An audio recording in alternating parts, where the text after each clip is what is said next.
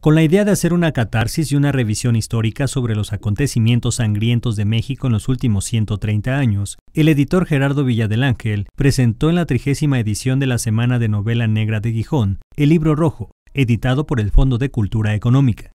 El libro rojo es uno de estos proyectos eh, que yo he venido realizando a lo largo de 20 años y que se formuló a partir del momento en que se hizo, eh, bueno, México entró en el tránsito a la democracia en el año 2000, cuando después de más de 70 años de gobierno del PRI,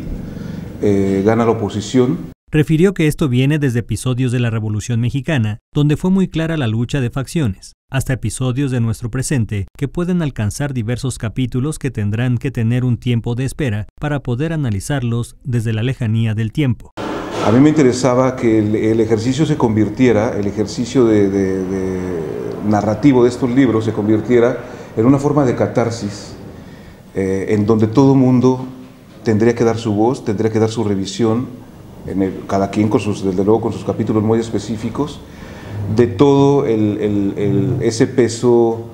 de crueldad, de todo ese peso de ejercicio del poder que a lo largo de la historia ha tenido México. Con esta recopilación, el mexicano compite por el premio Rodolfo Walsh a la mejor obra de no ficción de género negro del Festival Literario, al que también aspiran Nos vemos en esta vida o en la otra, de Manuel Gavois, y La tinta del calamar de Miguel Barrero.